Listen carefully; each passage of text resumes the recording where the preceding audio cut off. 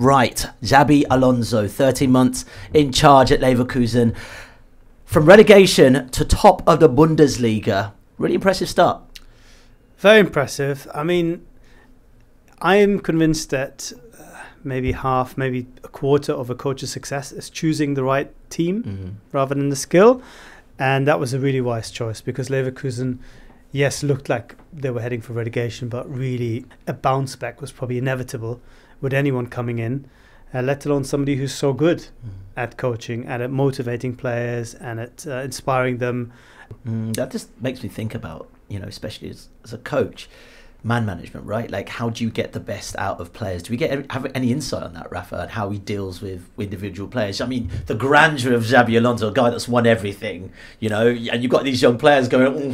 that's a big part of you it. know. That's a big part of it, and it shouldn't be underestimated yeah. because, of course, you can convince players through the strength of your arguments and your tactical ideas, but the fact that he's speaking to you from a position of having won everything and having been exposed to all these different ideas and having sort of distilled his own principles from it, I think is hugely impressive in the first place. People at the club have told me that he's very, very strict. Mm.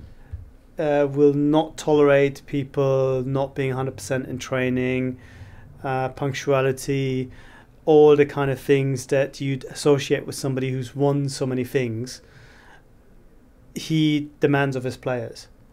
And again, I think for a team and for a club that has sometimes been a bit of a comfort zone for players who either perhaps haven't quite got what it takes to go all the way mm. and have sort of landed at a level that it's kind of good but never really that good at Leverkusen, or if it was players who are looking at the club as a mere stepping stone and just sort of concentrate on getting out as quickly as possible it was very important, I think, to have somebody in who's really instilled that sense of no, we have to win now. We have to really be as good as possible as a team and individually, and drive that home through his own, again, through his own behavior. Mm-hmm. And he's been very infectious, and the people there.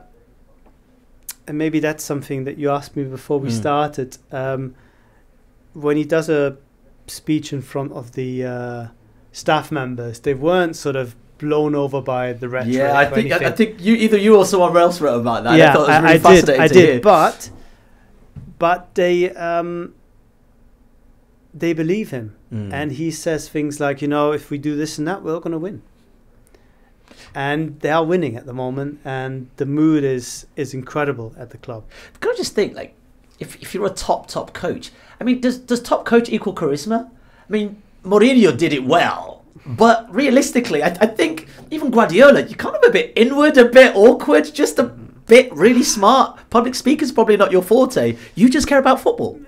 Yes, but I think being able to speak regularly in front mm. of 23, 25 young men and you know a third of them will be unhappy for one reason or another I think you have to have charisma. You don't have to be an incredible orator, orator mm. but um, and he has the charisma.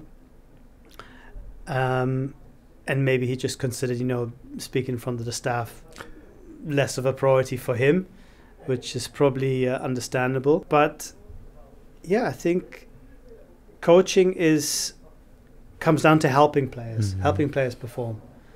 And if you can do that, either through being brilliant in terms of how you empathize with them or you know you relate to them on a on a emotional level or if it comes from more sort of pragmatic um, technical help you know if you do this you'll be better you know go mm-hmm. there do this play the ball here position yourself there if you can combine all these things then you've got the making of a of a superstar coach and I think it was clear very early on um, last season I wrote when they got knocked out by Roma in a semi final, it almost doesn't matter that he's not winning a trophy this year and that mm. they got knocked out because you can see that that Alonso is going to be a superstar, and this season is just the continuation of that. Yeah, I mean, just picking up on something Rafa said there, there was a really good article on site actually by Liam Tharme who mm. wrote about you know why so many holding midfielders are going on to become managers and I think there was a study saying around 42% of former um, players who are managers were holding midfielders. And I think, you know, if you want somebody, you know, obviously Xabi Alonso has been there and done it with, Mm. with some of the best clubs, but if you want somebody to tell you, you know, where to go and what to do and how to improve your game, a holding midfielder is a place where, you know, you can see the game happening around you, you've got more of an understanding of it. I think Guardiola's spoken about it in the past, saying, you know, when you're a striker, you're thinking about scoring. When you're a midfielder, you know, you've got to know what's happening on the entire pitch, where to position yourself. And yeah, there aren't many people, better people to listen to in that regard as just someone like Xabi Alonso, and that in itself, I think, commands a lot of respect. I wonder if there's uh, any comparison we can make with someone like Xabi Alonso, Mikel Arteta, in comparison to Steven Gerrard, Frank Lampard, and how I guess we've got four players there who are very good at their job, but two that haven't really excelled in that managerial side of things.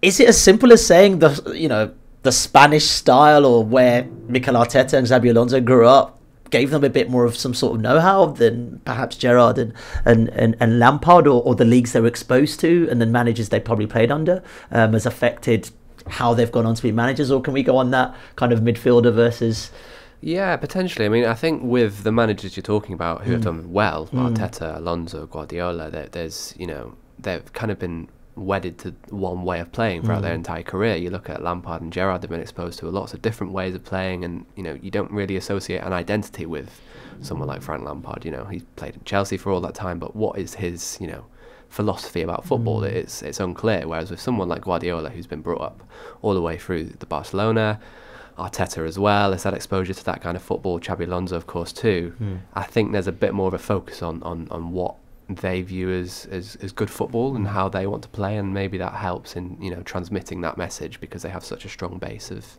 this is what we want to do. If you like this video, click subscribe for more content like this. We'll be joined by the likes of David Ornstein, Matt Slater, Adam Crafton, Carl Anka, and plenty more through the season to bring you the inside track to the biggest stories in football. If you'd like to listen to the full episodes for free, search the Athletic Football Podcast wherever you get your podcast from.